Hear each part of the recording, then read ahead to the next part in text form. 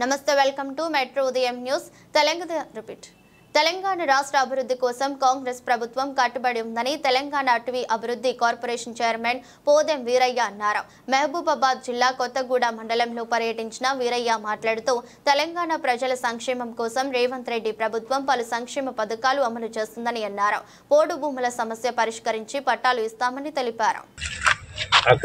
రావడం జరిగింది. ఆ సందర్భంగా కొత్తగూడెంలో ఉన్నటువంటి కాంగ్రెస్ పార్టీ నాయకత్వానికి కానీ కాంగ్రెస్ పార్టీ శ్రేణులకు కానీ కాంగ్రెస్ పార్టీ అభిమానులకు కానీ కొత్తగూడ ప్రజలందరికీ కూడా తెలియజేసేది ఏంటంటే ఇక్కడ ఉన్నటువంటి ఏమన్నా అరకొర పోడు భూములకు సంబంధించినటువంటి పట్టాలు ఉంటే అన్నిటిని కూడా క్లియర్ చేసి మా ముఖ్యమంత్రి రేవంత్ రెడ్డి గారు ప్రత్యేకంగా చర్య తీసుకున్న సిద్ధంగా ఉన్నారు.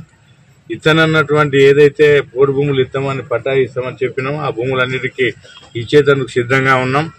ఎవరు బాధపడాల్సిన అవసరం లేదని ఈ సందర్భంగా గిరిజన రైతు సోదరులందరికీ కూడా సందర్భంగా తెలియజేసుకుంటూ అంతేకాకుండా ఈ మండలంలో ఉన్నటువంటి రైతులందరికీ కూడా రైతు రుణమాఫీ అదేవిధంగా రైతు బంధు తర్వాత పోతే రైతుకు సంబంధించినటువంటి అన్ని కార్యక్రమాలను కూడా మా ముఖ్యమంత్రికి మన రేవంత్ రెడ్డి గారు చేయడం జరుగుతున్నది.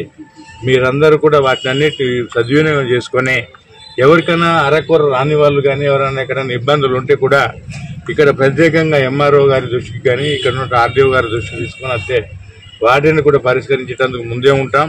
ఎక్కడ ఎవరికేం ఇబ్బంది లేకుండా చర్యలు తీసుకోవడం జరుగుతున్నది. మన ముఖ్యమంత్రి గారు కూడా చాలా డైనమిక్ కార్యక్రమాలు చేస్తున్నారు.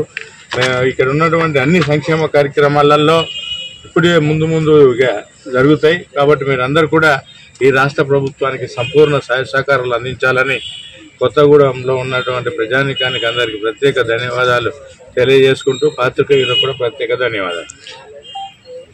చేయమని చెప్పింది కదా ఏవోలు ఉన్నారు కదనే? అగ్రికల్చర్ ఏవోస్ ఉన్నారు ఏవోస్ దగ్గరికి వెళ్ళి మీరు వీటికి రెండు లక్షల వరకు ప్రతి వాళ్ళకి ఇస్తారు. ఎవరికి లో ఇలాంటి రాని ఏమైనా ఉంటే కూడా మా దృష్టి కూడా తీసుకురండి నేను కూడా ప్రభుత్వం దృష్టికి తీసుకెళ్ళి తప్పకుండా న్యాయం జరిగే విధంగా రైతాంగానికి చూస్తా అని చెప్పి ఈ సందర్భంగా రైతులందరికీ మనవి చేస్తున్నా.